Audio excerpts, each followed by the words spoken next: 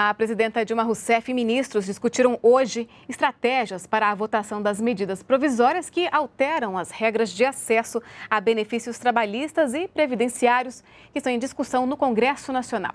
A expectativa é que elas sejam votadas nesta semana.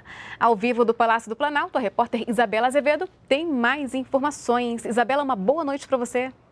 Olá, Aline. Boa noite para você também. Boa noite a todos. Além dessa reunião pela manhã da presidenta Dilma Rousseff com os ministros, o vice-presidente Michel Temer também se encontrou agora no início da noite com líderes do Congresso Nacional para discutir o mesmo tema. A imprensa, Michel Temer disse estar confiante na aprovação das duas medidas provisórias eh, destinadas a promover um reequilíbrio fiscal. As MPs, que tratam de assuntos como seguro-desemprego e pensão por morte, já estão prontas para serem votadas em alguns casos no plenário, em alguns casos na comissão mista destinada a analisar o tema. E devem ser votadas, assim, como você disse, nesta semana. Ao longo dessas últimas semanas, várias negociações foram feitas para chegar a um texto comum, a um texto final. E o vice-presidente disse que essas negociações já estão bem avançadas.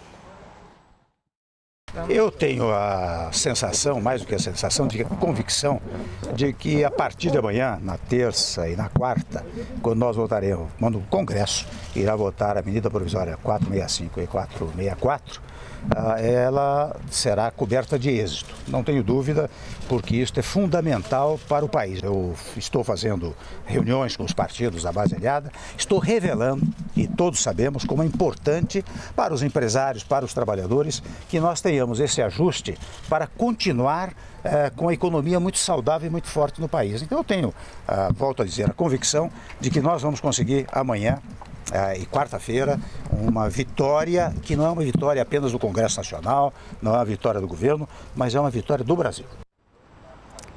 Durante essas negociações, durante as últimas duas semanas de negociações, alguns pontos das medidas provisórias originais foram trocados, foram modificados para chegar a um acordo. Um exemplo é a questão do seguro-desemprego. Na medida, no texto aprovado pela comissão mista, há uma carência de 12 meses de trabalho nos últimos 18 meses antes da demissão. Isso para concessão do, do benefício pela primeira vez. Já no texto original da medida provisória enviada ao Congresso, essa carência era de 18 meses nos dois dois anos anteriores ao pedido, enfim, à demissão. A medida provisória que trata desse tema, seguro-desemprego e outros temas, como abono salarial, já está pronta para ser votada no plenário da Casa, lá no plenário do Congresso Nacional. Já outra medida provisória, que trata de questões previdenciárias, como é o caso de pensão por morte, pode ser votada amanhã na comissão mista e, se aprovada, vai para o plenário da Casa. O vice-presidente Michel Temer disse que quanto mais os textos se aproximarem das medidas originais do dos textos originais das medidas provisórias, menos ajustes orçamentários deverão ser feitos. Se não houver o ajuste, o contingenciamento será muito, muito radical. Não é? Se houver o ajuste, o contingenciamento será muito menor. Pela manhã, o ministro da Secretaria da Comunicação Social da Presidência da República, Edinho Silva, também comentou as medidas provisórias, os encontros que aconteceram durante o dia e disse que essas medidas são essenciais para a retomada do crescimento de forma sustentável. Aline. Isabela Azevedo com informações ao vivo. Muito obrigada, Isabela.